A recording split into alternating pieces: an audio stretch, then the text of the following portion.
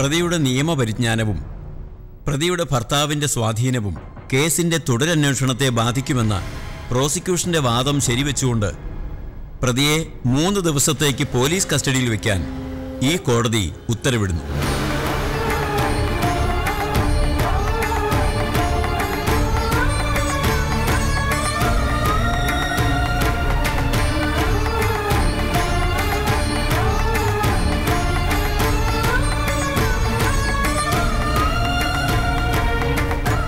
എന്നാൽ പ്രതിയുടെ ആരോഗ്യനില ആശങ്കാകുലമായതുകൊണ്ട് എല്ലാ ദിവസവും പ്രതിയെ വൈദ്യപരിശോധനയ്ക്ക് വിധേയമാക്കണമെന്നും അക്കാര്യങ്ങൾ കോടതിയെ ധരിപ്പിക്കണമെന്നും അറിയിക്കുന്നു. അടുപ്പം ഭാവിച്ച് ചതിച്ചു അല്ലേ? വാ പോകാം.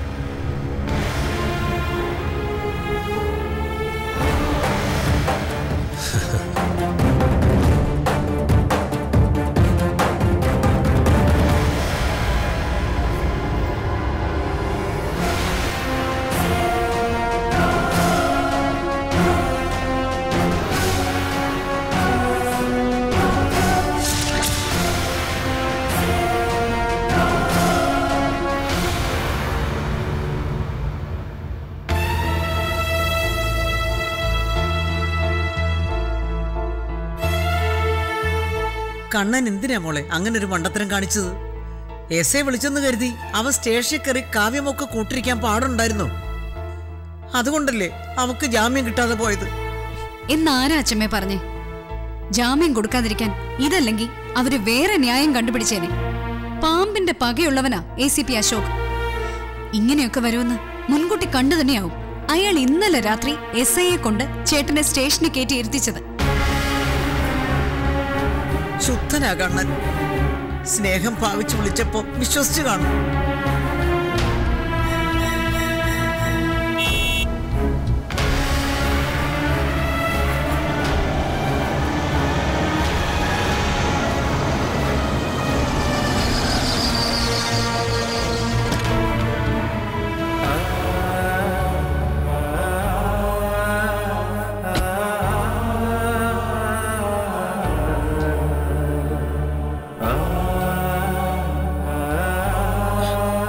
എവിടെയാ കണ്ണ എന്റെ കാവ്യമോൾ അവളെ കൊണ്ടുവരുന്നു പറഞ്ഞല്ലേ നീ പോയത്? എന്നിട്ട് അവളെവിടെ? അവളെ രക്ഷിക്കാൻ എനിക്ക് ശ്രീധനൊന്നും കഴിഞ്ഞില്ല അച്ഛമ്മേ. ഞങ്ങൾ തോറ്റുപോയി. ഒരു കാര്യം കൂടി എനിക്ക് ബോധ്യമായി. ഈ നാട്ടിലെ ഒരു സാധാരണക്കാരന് കിട്ടുന്ന മാനുഷിക പരിഗണന പോലും എന്നെ പോലൊരു സെലിബ്രിറ്റിക്ക് കിട്ടില്ല. ഒരു പ്രശ്നം ഉണ്ടാവുമ്പോ ഞങ്ങളുടെയൊക്കെ വ്യക്തിജീവിതം മഹാദുരന്തമായി മാറും. എന്റെ സ്ഥാനത്ത് ഒരു സാധാരണ പൗരൻ അവന്റെ ഭാര്യയെ വൈകാരികമായി പിന്തുണച്ച് പോലീസ് സ്റ്റേഷനിൽ എത്തിയിരുന്നെങ്കിൽ ഇത്തരം പ്രശ്നങ്ങൾ ഉണ്ടാവുമായിരുന്നു. ഒരിക്കലുമില്ല. അവന്റെ സെന്റിമെന്റ്സിന് എല്ലാവരും വിലമതിച്ചേനെ. പക്ഷെ ഒരു നടൻ അത് ചെയ്യുമ്പോ ഒക്കെ വെറും ഷോ വെറും അഭിനയം. അല്ലെങ്കിൽ ഇവിടുത്തെ നീതിന്യായ വ്യവസ്ഥിതിക്ക് മേൽ അധികാരം സ്ഥാപിക്കാനുള്ള അവന്റെ വിഫല ശ്രമം. അങ്ങനെ എല്ലാരും കാണൂ.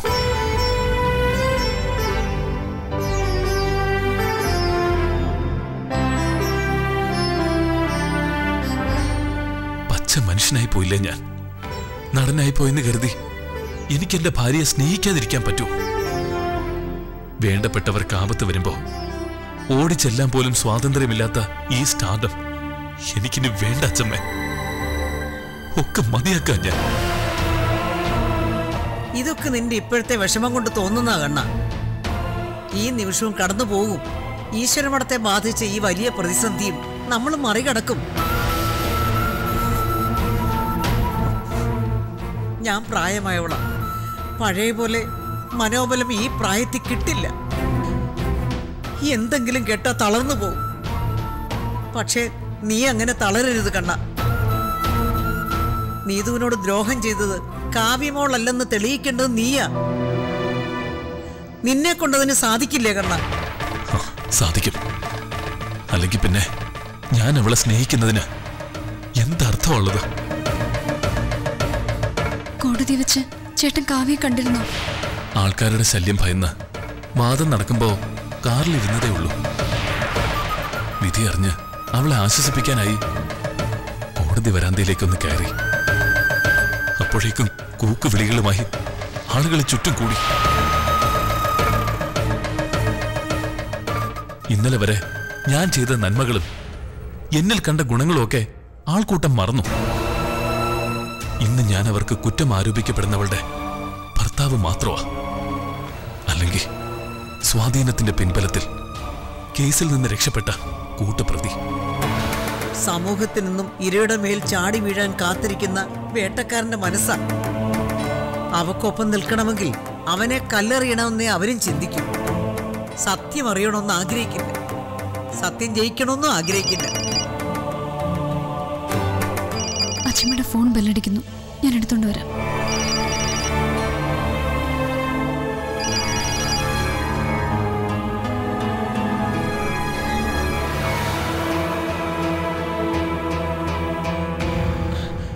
കൂടുതലൊന്നും ആലോചിച്ച് വിഷമിക്കണ്ട കണ്ണ. വാ.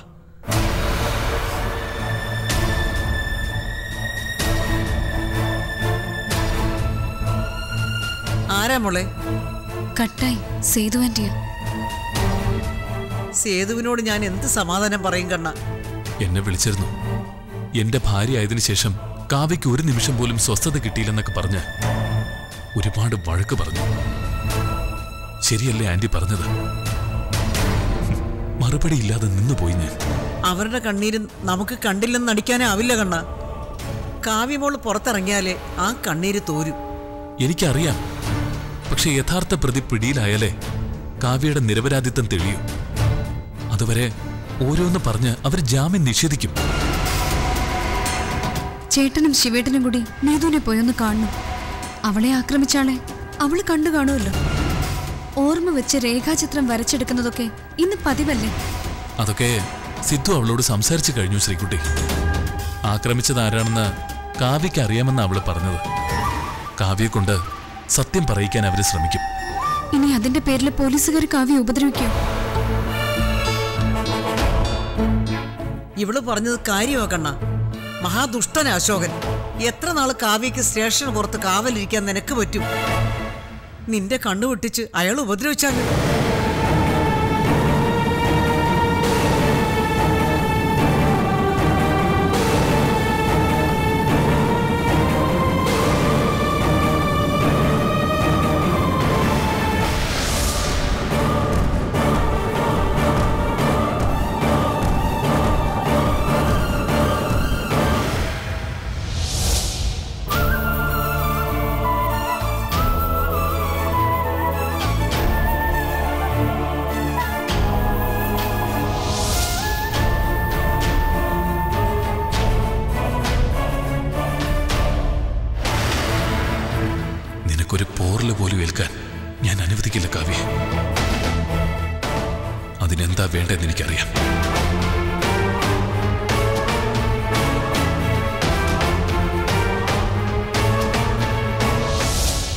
വരാൻ പറ.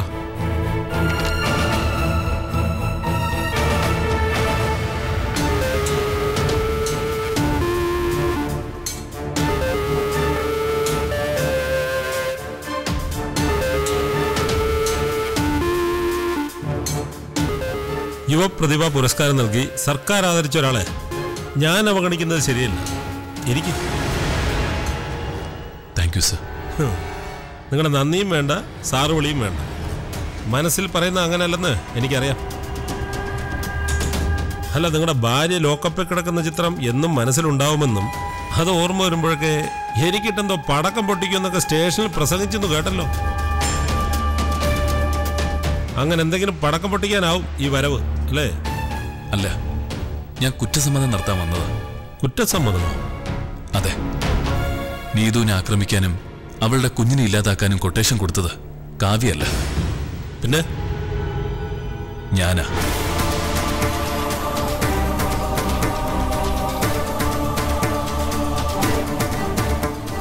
എങ്ങനെ? ഒരു ഗുണ്ട ഏർപ്പാടാക്കി നീതുവിന്റെ വീട്ടിൽ ഞാൻ അതിക്രമം നടത്തി. ആ എന്നിട്ട്? ആ അതിക്രമത്തിൽ നീതുവിന്റെ കുഞ്ഞ് മരിച്ചത്. നീതുവിന്റെ കുഞ്ഞെന്നല്ലല്ലോ പറയേണ്ടത്. അത് നിങ്ങളുടെ കുഞ്ഞല്ലായിരുന്നോ? അതെ. എന്റെ കുഞ്ഞ്. അതിനെ ഇല്ലാതാക്കിയത് ഞാനാ.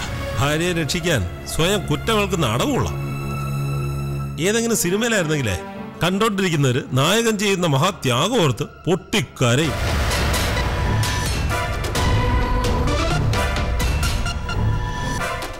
പക്ഷെ ജീവിതത്തിൽ അതൊന്നും നടക്കില്ല ജീവ. ഞാൻ പറയുന്ന ഒന്ന് വിശ്വസിക്കണം. ഞാൻ തന്നെ ഈ കുറ്റകൃത്യം ചെയ്തത്. ഒന്ന് വെറുതെ ഇരിക്കേണ്ട സൂപ്പർ സ്റ്റാറേ. കൃത്യം ചെയ്തത് നിങ്ങളുടെ ഭാര്യയാണെന്ന് എനിക്കും പിന്നെ കോടതിക്കും ബോധ്യമായി കഴിഞ്ഞു. ഇനി നീതുവിനെ ആക്രമിക്കാൻ ആർക്കാണ് കൊട്ടേഷൻ കൊടുത്തതെന്ന് മാത്രം നിങ്ങളുടെ ഭാര്യയുടെ നാവിൽ നിന്ന് വീടാൻ മാത്രം മതി. അതോടെ കേസ് ഞാൻ ക്ലോസ് ചെയ്ത് റിപ്പോർട്ട് കോടതിയിൽ സമർപ്പിക്കുകയും ചെയ്യും. കാവ്യക്കെതിരെ തെളിവുണ്ടാക്കാനാണ് നിങ്ങളുടെ ശ്രമമെന്ന് എനിക്കറിയാം. പക്ഷെ അത് നടക്കില്ല. കാരണം നീതുവിനെ ആക്രമിക്കാൻ കൊട്ടേഷൻ കൊടുത്തത് ഞാനാ. എനിക്ക് മാത്രമേ അതിൽ പങ്കുള്ളൂ. അതങ്ങനെ വെറുതെ പറഞ്ഞിട്ട് കാര്യമില്ല. എനിക്ക് വേണ്ടത് എവിഡൻസാ ചെയ്തത് നിങ്ങളാണെന്ന് തെളിയിക്കാൻ എന്തെങ്കിലും എവിഡൻസ് നിങ്ങളുടെ കയ്യിലുണ്ടോ? ഉണ്ടെങ്കിൽ പറ.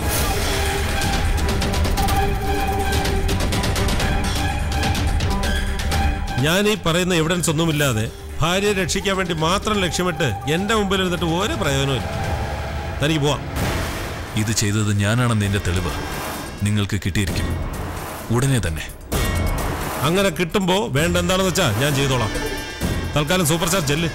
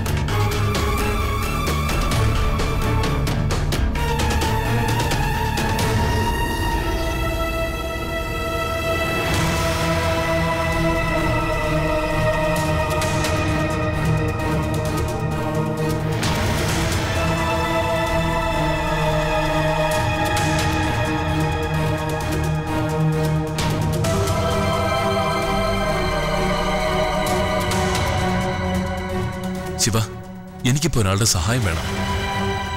എനിക്ക് വേണ്ടി എന്തും ചെയ്യാൻ തയ്യാറായ ഒരാളുടെ ചോദിക്കുന്ന കാശ് കൊടുക്കാം.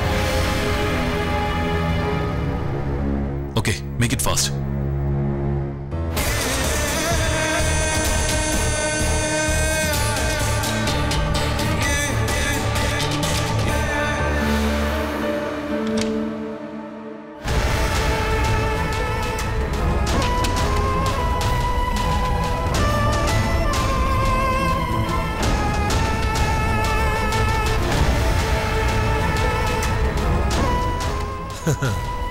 ഇന്നത്തെ വൈദ്യപരിശോധനയൊക്കെ കഴിഞ്ഞോ?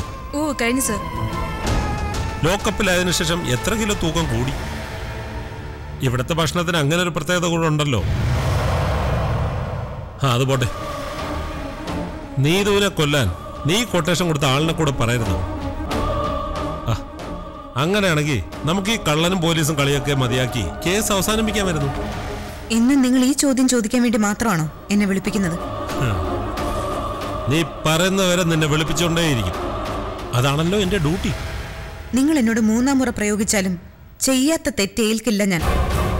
എന്നെ കൊടുക്കാൻ വേണ്ടി മൊബൈൽ കോൾ ലിസ്റ്റ് ഒക്കെ പരിശോധിച്ചല്ലോ നിങ്ങൾ ആരെയെങ്കിലും ഞാൻ ഏർപ്പാടാക്കിയതിന് എന്തെങ്കിലും ഒരു സൂചന നിങ്ങൾക്ക് കിട്ടിയോ? സംശയാസ്പദമായ ഒരു നമ്പറെങ്കിലും നിങ്ങൾക്ക് കിട്ടിയിരുന്നെങ്കിൽ ഇവിടെ നടക്കുന്നത് വേറെയാവുമെന്ന് എനിക്കറിയാം. നീ വലിയ ബുദ്ധിമതി ആയതുകൊണ്ട് ഈ ഓപ്പറേഷന് നിന്റെ ഫോൺ ഉപയോഗിച്ചിട്ടുണ്ടാവില്ല എനിക്കറിയാം. പക്ഷേ നടന്നത് എന്തായാലും ഞാനത് കണ്ടുപിടിച്ചിരിക്കും. പ്രതിശിക്ഷ അനുഭവിക്കുകയും ചെയ്യും. ഞാനാണ് പ്രതിയെന്നല്ലേ നിങ്ങളുടെ അവകാശവാദം? താൽക്കാലികമായി എന്നെ പീഡിപ്പിക്കാമെന്നല്ലാതെ ഈ കുറ്റം ചെയ്തത് ഞാനാണെന്ന് തെളിയിക്കാൻ ഈ ലോകത്താർക്കും ആവില്ല. പക്ഷേ കുറ്റം നീ തന്നെ ഏൽക്കുന്നതാവും നല്ലത്. അല്ലെങ്കിൽ നിന്റെ ഭർത്താവ് കീഴടങ്ങുന്നതിനുള്ള സാധ്യത ഞാൻ കാണുന്നുണ്ട്. ഇനി നീ പറഞ്ഞു വിട്ടിട്ട് വല്ല മാസ്കോ മറ്റോ ധരിച്ച് അയാൾ തന്നെയാണോ ആക്രമണം നടത്തിയത്? അങ്ങനെ ആകാമല്ലോ. ഞാനും എന്റെ ഭർത്താവോ ഈ കുറ്റകൃത്യത്തിൽ പങ്കാളികളായിട്ടില്ല. നീ നിന്റെ കാര്യം മാത്രം പറഞ്ഞാൽ മതി. അയാളുടെ പങ്കിനെ കുറിച്ച് ഞാൻ അയാളോട് ചോദിച്ചോളാം. കുറെ ചോദിച്ചതാണല്ലോ നിങ്ങൾ. ഞങ്ങളെ രണ്ടുപേരെയും മാറ്റിയിരുത്തി ചോദ്യം ചെയ്തിട്ടും എന്ത് തെളിവാ നിങ്ങൾക്ക് കിട്ടിയത്? അതിനപ്പുറം ഒന്നും സംഭവിക്കാൻ പോകുന്നില്ല. അത് നീ കാത്തിരുന്ന് കണ്ടാ മതി. കൂട്ടുപ്രതി ആരാണെന്ന് നീ പറഞ്ഞില്ലെങ്കിൽ ഇനി നിന്റെ ഭർത്താവിനെ വെറുതെ ചോദ്യം ചെയ്യാനല്ല പോകുന്നത്. കസ്റ്റഡിയിലെടുത്ത് പോലീസ് മുറയിൽ ചോദ്യം ചെയ്യും. നിന്നോട് പെരുമാറിയ പോലെ സോഫ്റ്റ് ആയിട്ടാവില്ല അവനോടുള്ള ഇടപെടൽ. അവന്റെ നിലവിളി കേൾക്കുമ്പോ നീയല്ല നിന്റെ മരിച്ചുപോയ പൂർവികർ വരെ വന്ന് കുറ്റം സമ്മതിക്കും നിനക്ക് കാണണോ? കൊണ്ടുപോയോളെ.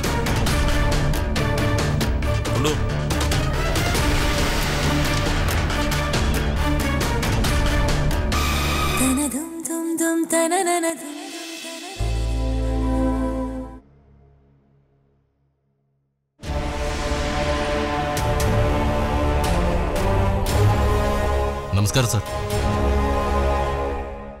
ചന്തുവിനെ ഓർമ്മയില്ല ഏട്ടനെ? മറക്കാൻ പറ്റുമോ? ഫാൻസ് അസോസിയേഷന്റെ തലപ്പത്ത് കയറിയിരുന്ന് ഇവൻ കാണിച്ച വൃത്തികേടുകൾ ചില്ലറയാണോ? ആകെ ഒരു കാര്യവും ചെയ്തിട്ടുള്ളൂ. മറ്റ് സ്റ്റാറുകളുടെ സിനിമയ്ക്ക് ആളെ കയറ്റി കൂവിച്ചു. അതൊരു തെറ്റാണെന്ന് ചന്തുവിന് ഇതുവരെ തോന്നിയിട്ടില്ല. മതി മതി. പാചകം പഠിച്ചത്. ഇവരെന്തിനാ ഇപ്പൊ എന്റെ അടുത്തേക്ക് കൊണ്ടുവന്ന് ഏട്ടൻ പറഞ്ഞ എന്തും ചെയ്യുന്ന ഒരാൾ ആവശ്യമുണ്ടെന്ന് പറഞ്ഞില്ലേ? ഇവ മതിയാവില്ല.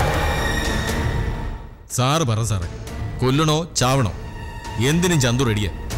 സാറ് നമ്മുടെ സ്വന്തമല്ലേ? മതി. നീ മതി. സന്തോഷമായി സാറേ. ചന്തുവിന് ഇനി മരിച്ചാലും വേണ്ടില്ല. സാറെന്നെ അംഗീകരിച്ചല്ലോ അത് മതി. ഏട്ടന് വേണ്ടി അവൻ എന്താ ചെയ്യേണ്ടത്?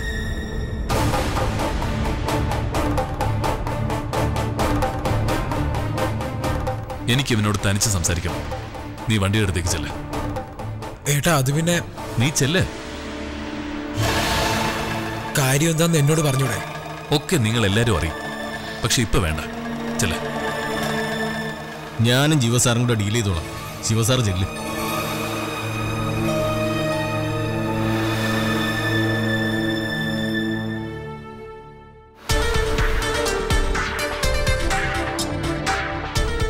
നീ ചെയ്യേണ്ട ജോലിക്കുള്ള പ്രതിഫലം പത്ത് ലക്ഷം രൂപയാ. പത്ത് ലക്ഷം രൂപയോ? അയ്യോ അതൊന്നും വേണ്ട സാറേ. പോരെങ്കിൽ ഇനിയും ചോദിക്ക. എന്തും തരിഞ്ഞ. നാളെ തന്നെ കാര്യം നടക്കണമെന്ന് മാത്രം. സാർ കാര്യം പറ. പറ്റുമെങ്കിൽ ചന്തു ഇന്ന് രാത്രിയിൽ തന്നെ നടത്തി തരും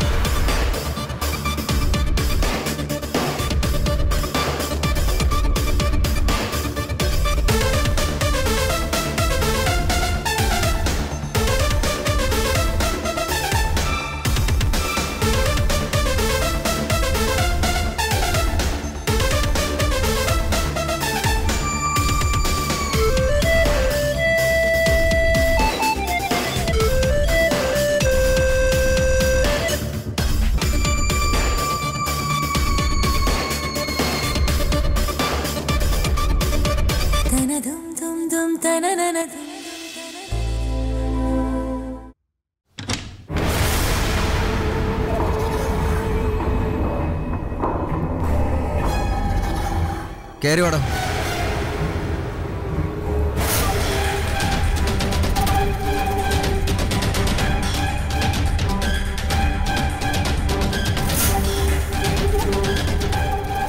സാറിന് കിട്ടിയ ഇൻഫർമേഷൻ കൃത്യമായിരുന്നു. ഇവനെ ഞാൻ കൈയോടെ പൊക്കി. നീതുവിനെ ആക്രമിച്ചത് ഇവനാണെന്ന് സമ്മതിച്ചിട്ടുണ്ട്. ചെയ്തതിൽ കുറ്റബോധമുണ്ട് സാർ മാപ്പാക്കണം. മാപ്പാക്കണം?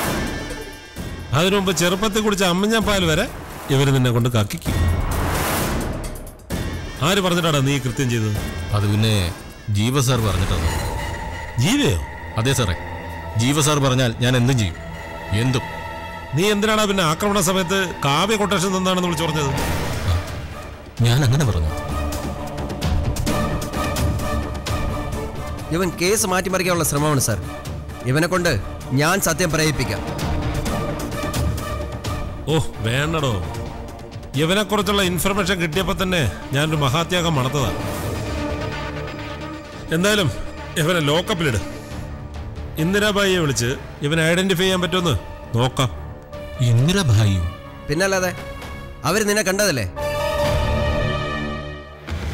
ചെയ്തത് അവനല്ലെന്ന് ഇവന്റെ മുഖത്ത് എഴുതി വെച്ചിട്ടുണ്ട്. എന്തായാലും നമുക്കിപ്പോൾ അവനെ വേണം. കൊണ്ടുപോ. നടക്കടാ അങ്ങോട്ട്. സാർ